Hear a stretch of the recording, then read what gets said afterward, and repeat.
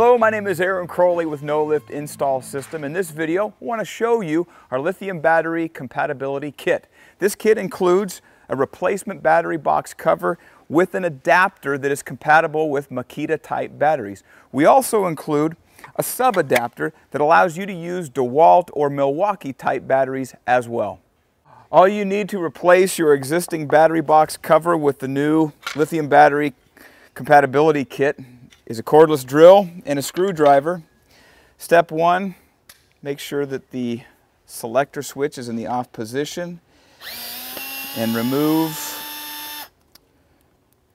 all six screws. Pull the plate cover off.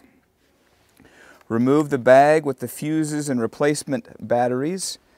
With a flathead screwdriver, we gently work these connectors off the battery. From there, we simply connect the connectors red to red, black to black. Make sure to put your fuses back in the battery box.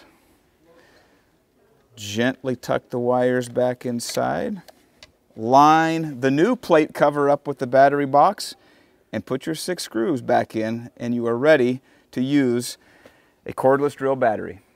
So once you have the plate secured to the battery box, simply take your Makita style battery, attach it to the adapter, flip the switch, and you're good to go.